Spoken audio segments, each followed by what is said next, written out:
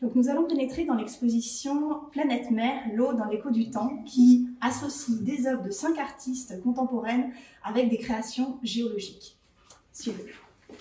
On pénètre vraiment là dans des espaces marins, au fond de la mer, on réémerge sur le bord de plage, toujours en dialogue entre des artistes, ici euh, Marie-Alette, qui présente une vidéo et recoue le bord de l'écume, et on repénètre à l'intérieur des mers, au fond des océans, à la découverte du plancton, ces micro-algues et organismes vivants qui vivent au fond des océans et qui produisent une grande partie de l'oxygène que l'on respire avec l'artiste Manon Blanchouet,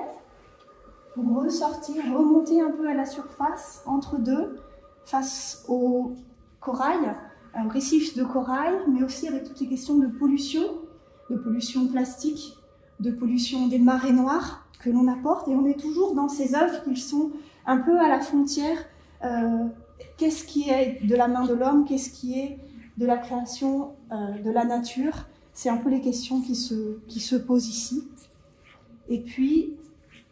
on, se réenfonce euh, dans les abysses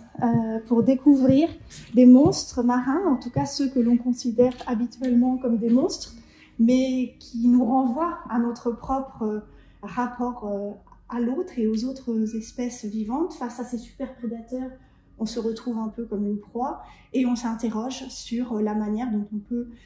agir d'une manière plus assagie